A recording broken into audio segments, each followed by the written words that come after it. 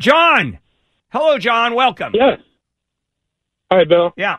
Is it legal for my employer to hire a private investigator to have me followed? Yeah.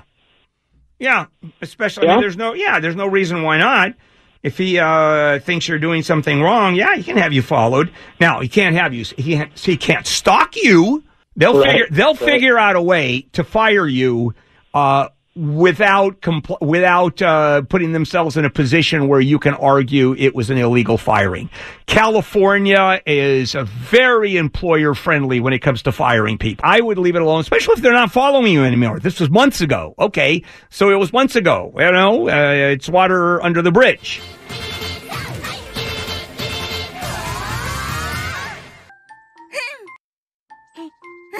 マリちゃんいいじゃがいもと人参だよ 事件だ。喉が渇いた。こんにちは。てかこれつける必要あった？楽しいよ。そうですわね。うわからよほら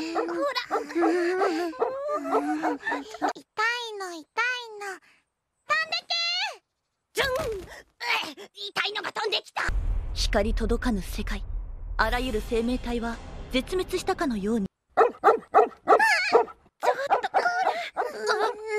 ショートカットしよ